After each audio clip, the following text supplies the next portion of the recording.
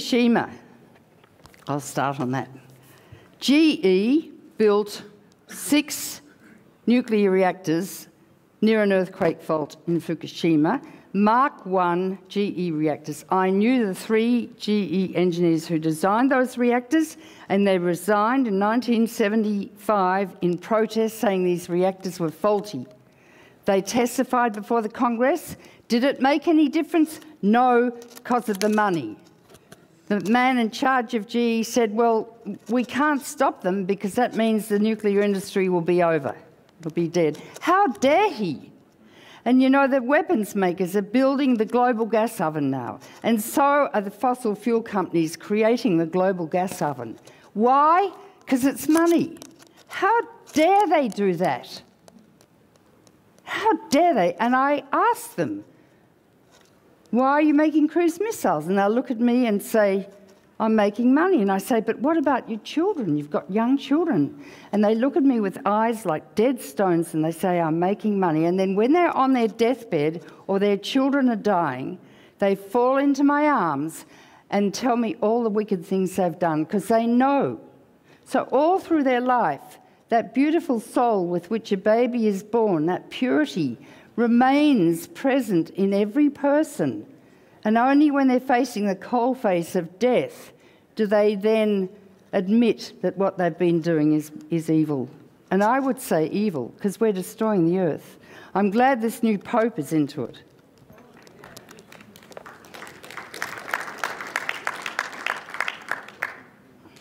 What would Jesus do?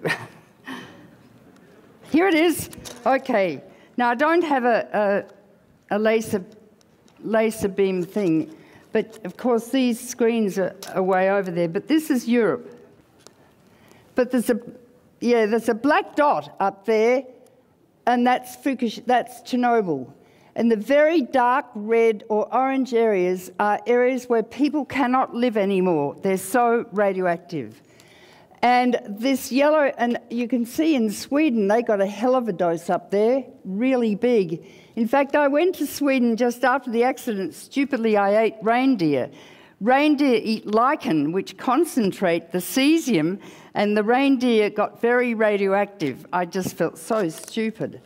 But so Norway got a hell of a fallout, Sweden, Finland, um, Germany, Belarus, uh, parts of England. They had to close down 300 sheep farms in the United Kingdom because the lambs were so full of cesium. And they, they, the, the government said, You've got to close down your farms.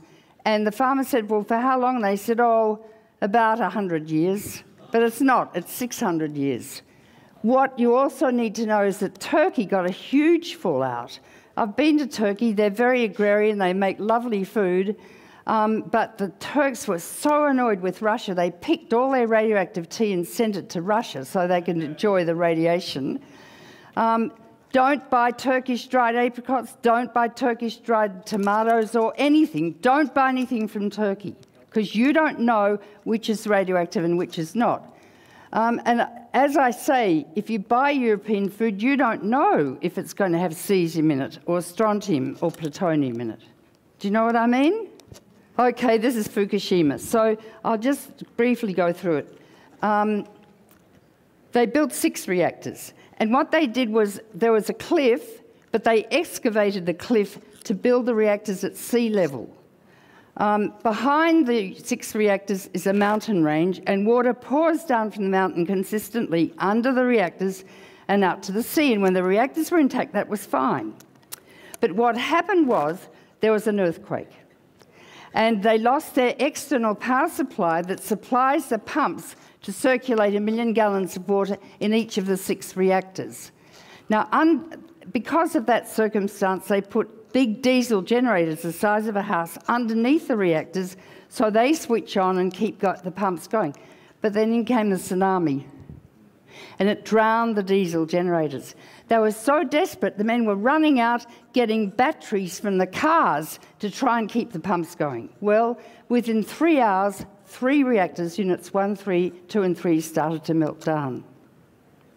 Because the, this uranium is so hot and full of these radioactive elements so hot it turns into molten radioactive lava and it melted its way through six inches of steel in the reactor containment vessel down onto the floor, concrete floor, and almost certainly we think it's melted its way through the concrete floor into the earth. And the, the, the do you remember the China syndrome with Jane Fonda and Jack Hawkins? Yes, the nuclear industry call that the, the melt through to China syndrome because it starts going into the earth. Now, the problem is that the water is still pouring down from the mountains and it pours over these reactor cores and the water becomes radioactive, very radioactive, and that goes into the ocean. So for four years, every day since Fukushima, 400 tons of radioactive water are going to the Pacific. Tons. There is apparently, a, the nuclear industry never predicted anything like this. They don't know what to do. They can't get near those radioactive cores because if a man stands there for about a couple of seconds, he'll get radiation illness and die.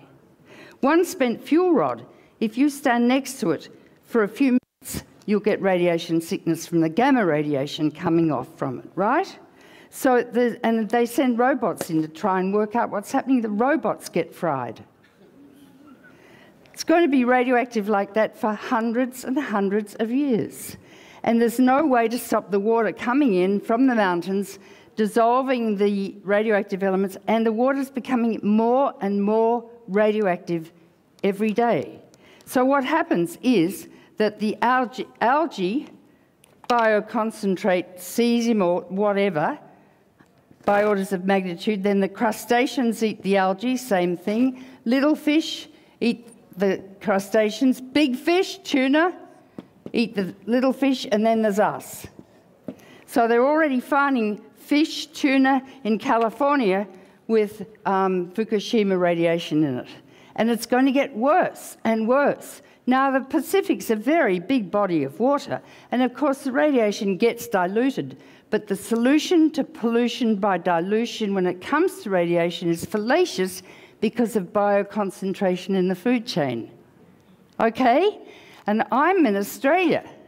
So um, the, the, there was a hell of a release of radiation initially, and the wind was blowing from west to east across the Pacific.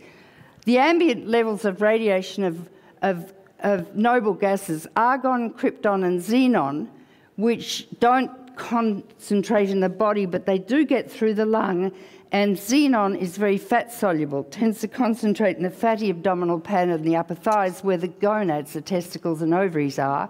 Very high energy gamma emitters. I used to use xenon in ventilation perfusion scans in my CF patients. It, it, these elements went up 40,000 times above normal in Seattle. Radiation fell in Boston, all over the country. Now, the two air masses of the northern and southern hemisphere don't mix at the equator, so you, you're the only ones that got the fallout. If there's another earthquake greater than seven on the Richter scale, the buildings are very fragile. And one of them, one, two, or three, could collapse onto the molten core. God knows what could happen. I told my son in Boston, if that happens, I'm flying you to Australia. He's got two little children. And your government is not measuring the ambient levels of air coming over from Fukushima. It's not measuring the sea, and it's not measuring the fish. How dare they? Hillary Clinton signed an agreement just after the accident that you would keep importing food from Japan. I went into a sushi restaurant in New York recently. I said, Where are the fish from? Japan. Japan. And the fish are so radioactive along the east coast of Japan, you can't believe it.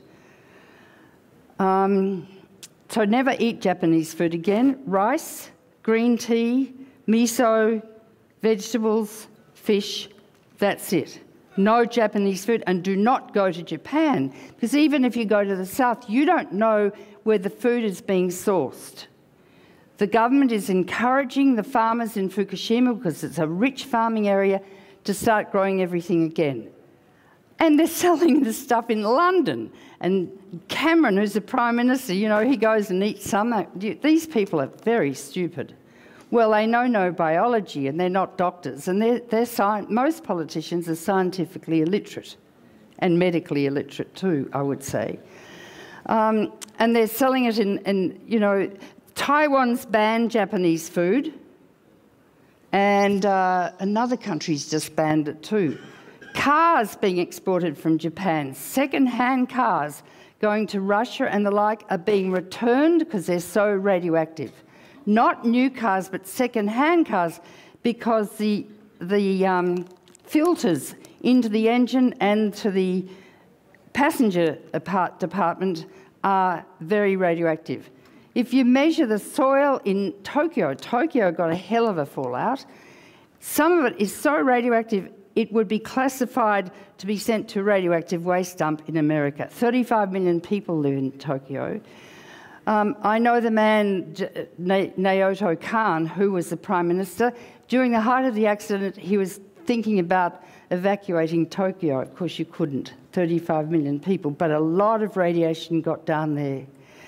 Um, and so we're just now seeing the tip of the iceberg with the children developing thyroid cancer, but soon there's going to be an epidemic of leukemia and then all sorts of solid cancers of every organ.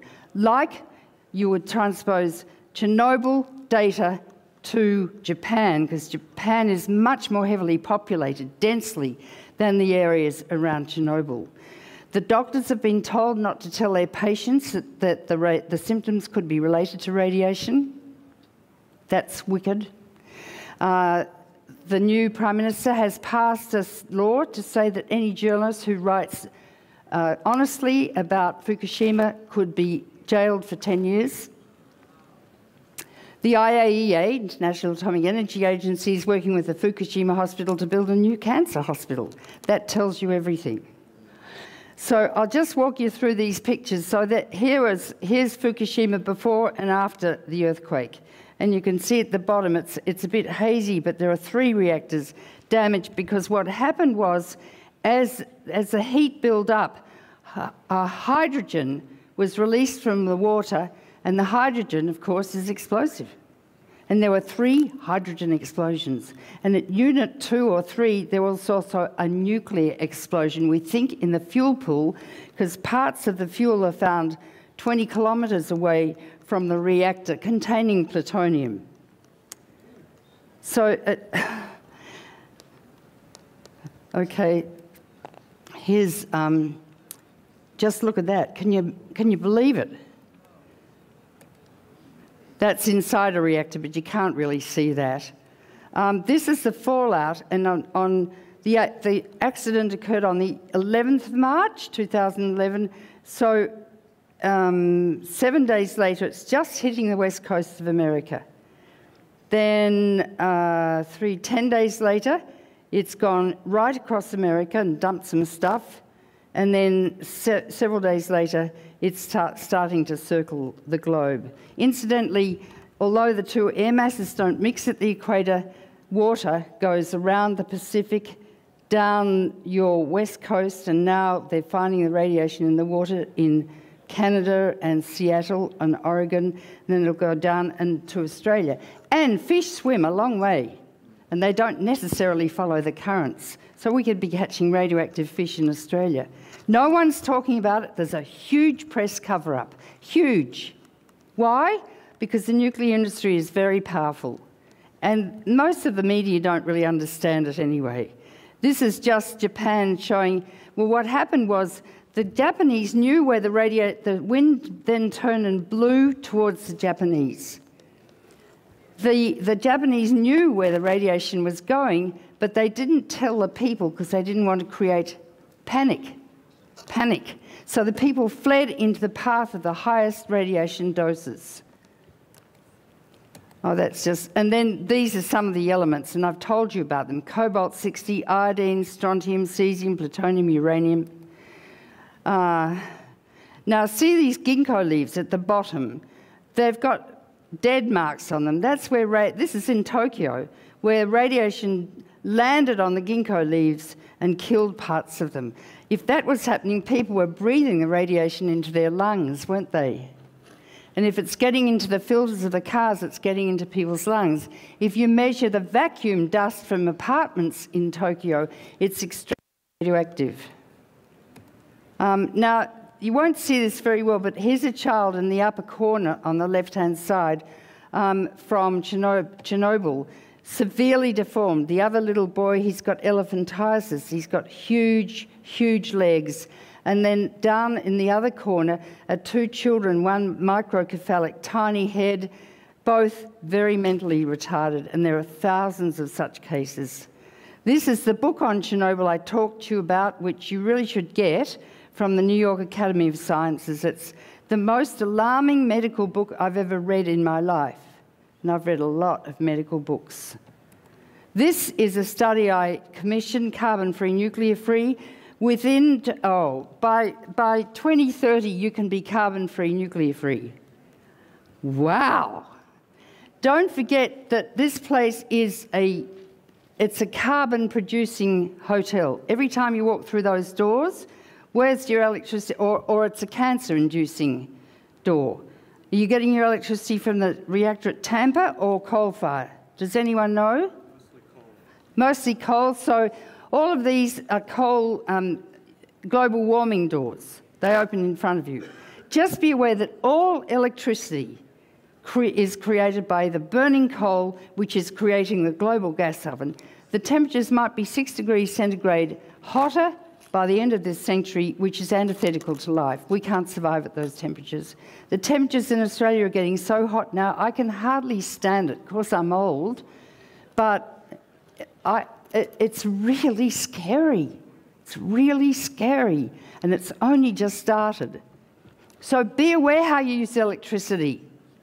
It's not there for the taking. But if you had a solar panel on every building, if you had solar panels on every parking lot, if you had electric cars, you plug them into the solar power during the day and take it back and plug it into the house at night and power up the house. Windmills everywhere. Upgrade your grid. It's so simple. And Americans waste 28% of the electricity they use. Don't ever use a clothes dryer again. Hang your clothes outside in the sun. That's what we do at home. They smell nice. And if you're up in the east and, it's cold, hang them by the furnace in the, in the cellar. They dry in a flash. G makes good things for life, like clothes dryers. Or you've got to use one dishwashers. Oh, you've got to use a dishwasher. You can't wash your dishes by hand. How dare we? Oh, carving knives. You just stand there and it goes and carves it. This is so stupid. And you know who pushed the electric house? Was Ronald Reagan, who I spent an hour and a quarter with in the White House alone, trying to teach him about the medical effects of nuclear war. His IQ was about 100, and I came out and said he's got impending Alzheimer's, which he did.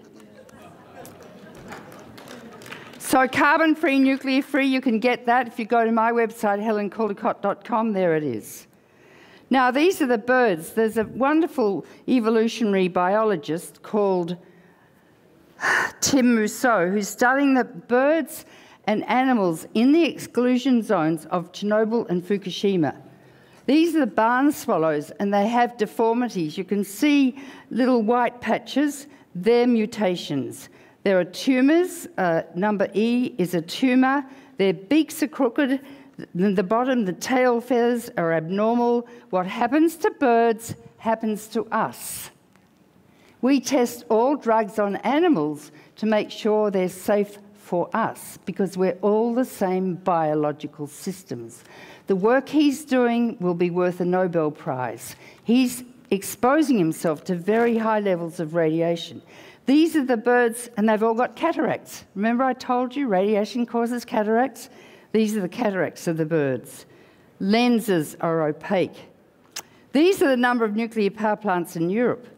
And guess what? In the Ukraine, where Chernobyl happened, there are 15 nuclear power plants, and there's a war going on there between Russia and America. and America's pushing Putin into a corner and for the first time since the Cold War ended, Russia and America are confronting each other militarily.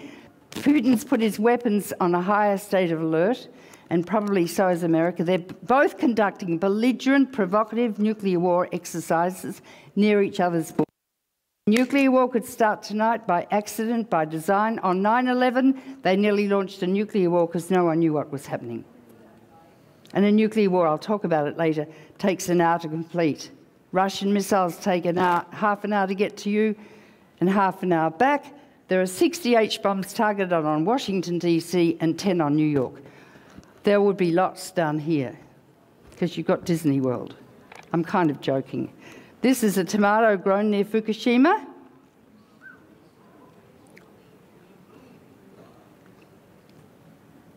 Mutations. Now, these are all the elements in a reactor, and I won't go through them, but you know, you only hear about cesium and strontium and stuff.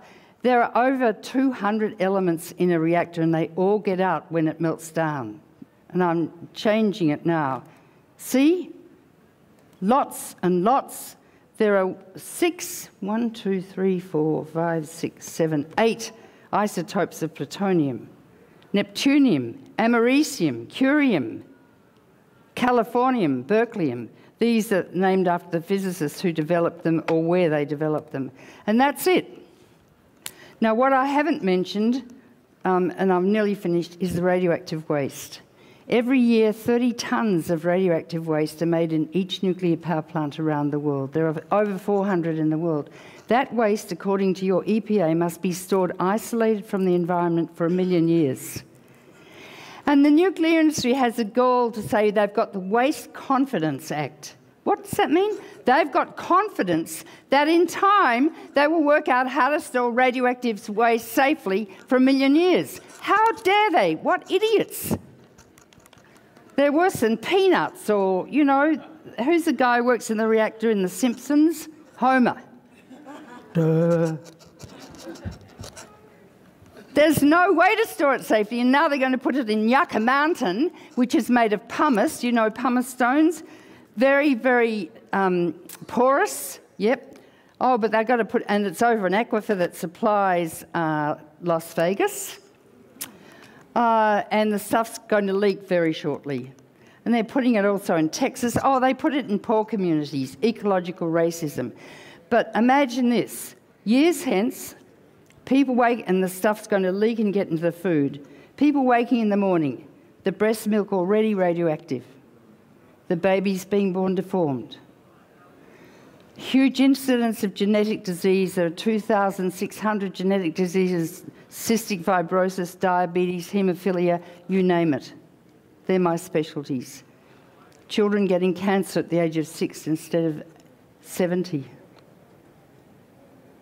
This is the biggest public health hazard the world's ever known, and we've done it to turn on our lights and make nuclear weapons to blow up the planet. The splitting of the atom changed everything save man's mode of thinking.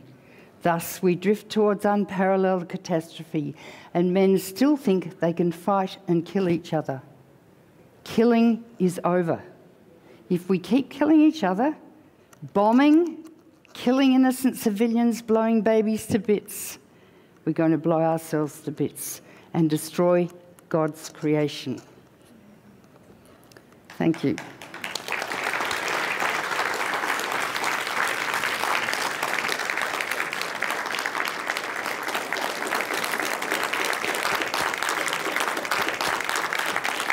Thank you.